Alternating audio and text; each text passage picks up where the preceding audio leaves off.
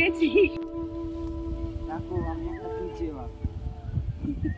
আমি এটা ছাড়াতে ছাড়াতে ভাই পর একটা পেয়ে গেছে এবার টপাটপ মাছ খাচ্ছে।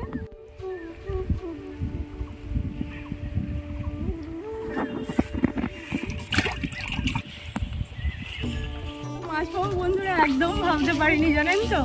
মানে আমি নিজে এত খুশি হয়েছি আপনাদেরকে কি বলব? তো চলুন একটা ভালো রান্নাই আপনাদের সাথে আজকে শেয়ার করব। দেখবেন আপনাদের খুব ভালো লাগবে।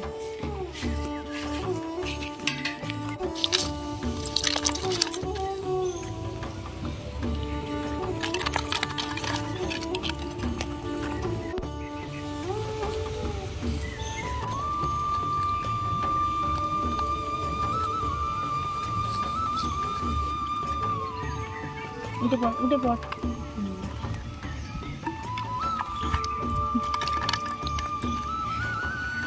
একটা করে তুলছে, একটা করে পালাচ্ছে। উঠে পড়। সবকটা মাছ বন্ধুরা বারবার পালিয়ে যাচ্ছে বলে দেখুন, একসাথে থালায় তুলে আর পেতে চাপা দিয়ে দিয়েছি যাতে না পালাতে পারে। এবার খানিকটা নুন দিয়ে দেবো। যাতে মাছগুলো তাড়াতাড়ি করে মরে যায়।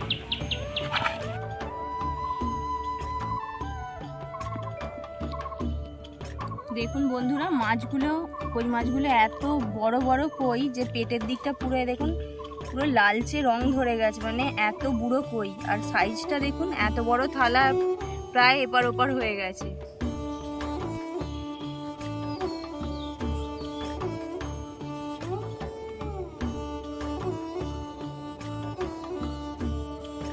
এইভাবে কানকোটাকে চেপে ধরলে ওরা নড়তে পারে না। তো কানকোটাকে চেপে নিয়ে আগে এই কাঁটাটাকে কেটে নেব।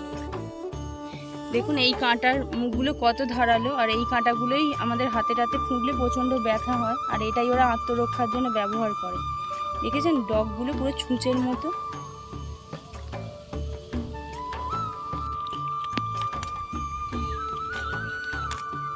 কাঁটাগুলো পুরো কেটে নিয়েছি, এবার আঁশটা এক এক করে ছাড়িয়ে নেব। মাছটা কাঁটাগুলো কেটে পুরো আঁচটা ছাড়িয়ে নিয়েছি। এবার এই কানকোর কাজটা কেটে নিতে হবে। কানকোর এই অংশটা পুরোটাই এই মাছের বাদ দিয়ে দিতে হবে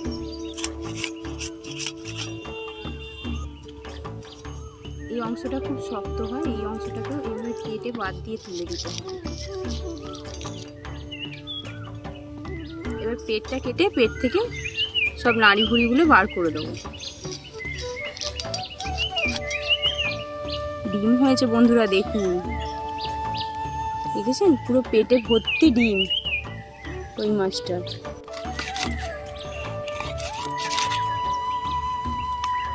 বন্ধুরা, মাছগুলোকে দেখুন, খুব ভালো করে ধুয়ে নিয়েছি। এবার মাছের গায়ে নুন আর হলুদ মাখিয়ে নেব।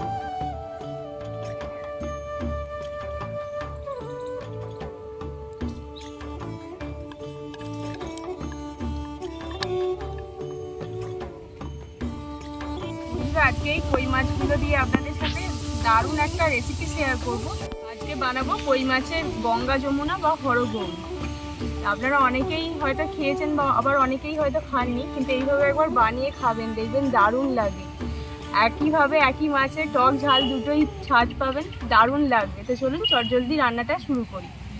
এই হরগৌরি বানাবার জন্য আমি নিয়েছি লবণ, হলুদ, জিরে গুঁড়ো, লঙ্কা গুঁড়ো, খানিকটা তেঁতুলকে আমি জলে ভিজিয়ে রেখেছি। সর্ষে, কাঁচা লঙ্কা আর লবণ একসাথে দিয়ে খুব ভালো করে বেটে নিয়েছি আর চিনি। এছাড়া নিয়েছি তিন চারটে শুকনো লঙ্কা, তিনটে কাঁচা লঙ্কা আর অল্প একটু গোটা সর্ষে। প্রথমে মাছগুলোকে বন্ধুরা ভেজে নেব, তার জন্য কড়াইতে সর্ষের তেল দিয়ে দিচ্ছি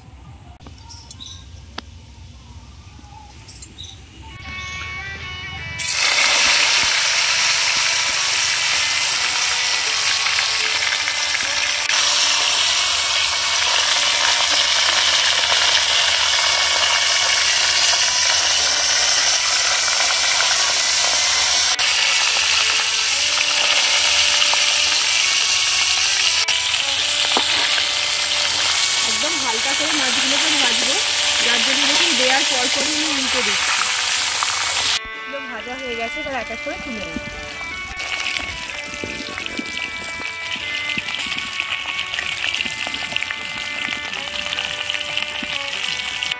মাছ ভেজে তেলটাকে কমিয়ে নিয়েছি। যতটা তেল লাগবে ততটাই কড়াইতে রেখেছি। তো সবার আগে ঝালের দিকটা করব মাছে তার জন্য এরকম বড় পাত্র নিয়েছি বন্ধুরা। এর মধ্যে সর্ষে বাটাটাকে দিয়ে দেব। এবার এই সর্ষে বাটার মধ্যে পরিমাণ মতো হলুদ স্বাদ মতো লবণ,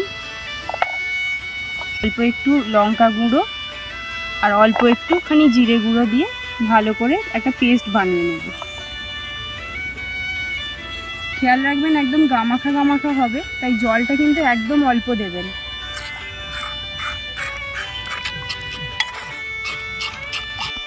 একটা কাঁচা লঙ্কা। কাঁচা লঙ্কাটা দেওয়ার পর বন্ধুরা যে পেস্টটা বানিয়েছিলাম, ওটাকে দিয়ে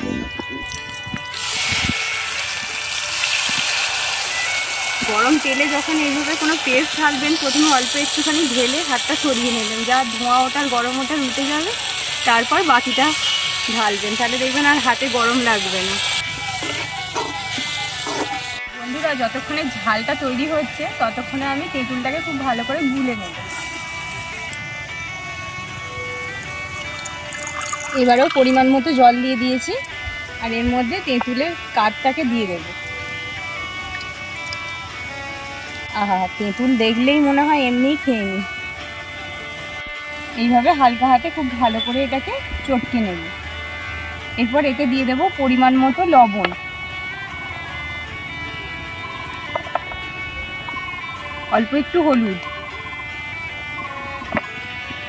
আর অল্প একটু লঙ্কা গুঁড়ো। আর স্বাদ মতো চিনি। সব কিছু দিয়ে খুব ভালোভাবে মিশিয়ে নেব।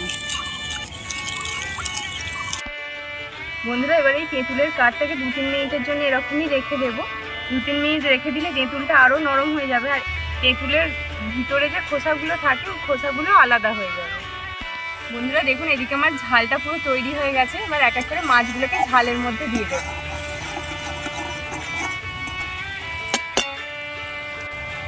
এটা দেওয়ার সময় কিন্তু খুব সাবধানে দিতে হবে যেন উপরের পিঠে না ঝালটা চলে আসে।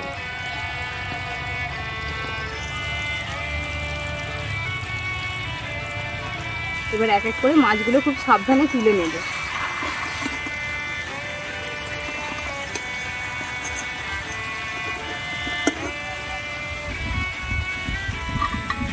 দেখুন, উপর পিঠটা কিন্তু পুরো শুকনোই রয়েছে।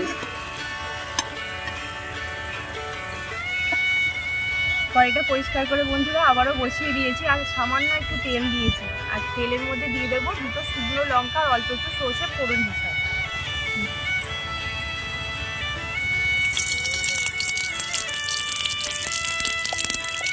দেখুন ভাজা ভাজা হয়েই গেছে। এবার ওর মধ্যে তেঁতুলের যে মিশ্রণটা তৈরি করেছিলাম, ওটা দিয়ে দেবো।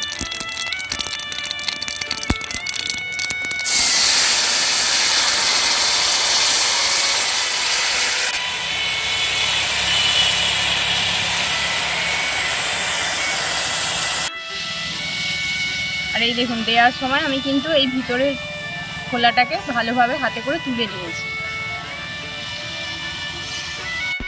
এদিকে আমার টক টক একদম গ্রেভি রেডি এর মধ্যে এবার মাছের অন্য পিঠটা দেবো। একটা পিঠটা সর্ষে বাটাতে দিয়েইছিলাম এবার উল্টো দিকের যে পিঠটা শুকনো ছিল, সেই পিঠটাকে নিচের দিক করে দিয়ে দেবো। এই দেখুন বন্ধুরা, সর্ষের বাটা যে দিকটা হয়েছে, ঠিক তার উল্টো দিকটা কিন্তু আমি তেঁতুলের মধ্যে দিচ্ছি।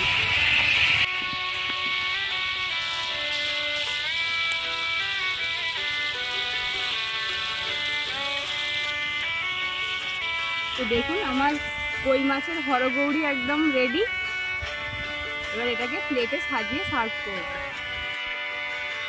বন্ধুরা, আপনারা দেখতেই পেলেন, আমাদের ট্র্যাডিশনাল একটা রান্না আজকে আপনাদের সাথে শেয়ার করলাম। দারুণ স্বাদ, একই মাছের দুটো ভিন্ন স্বাদ পাবে তো আমার এই রেসিপিটা যদি আপনাদের ভালো লেগে থাকে, তাহলে অবশ্যই লাইক করবে বন্ধু বান্ধব আত্মীয় স্বজনদের সাথে প্রচুর প্রচুর শেয়ার করবে আর অবশ্যই আমার কমেন্ট করে জানাবেন কেমন লাগবে আপনাদের কমেন্টের অপেক্ষায় থাকবে। আর যারা নতুন বন্ধু, তারা চ্যানেলটিকে অবশ্যই সাবস্ক্রাইব করবেন। আর পাশে থাকা বেল বাটনটি কিন্তু টিপতে ভুলবেন না। ওটা টিপলে নিত্য নতুন রান্নার নোটিফিকেশন সবার আগে আপনাদের কাছে চলে যাবে।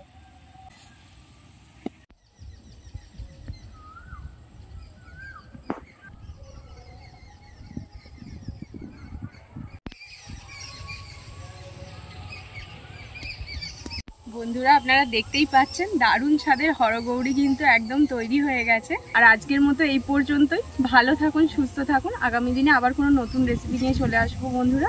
ততক্ষণের জন্য নমস্কার।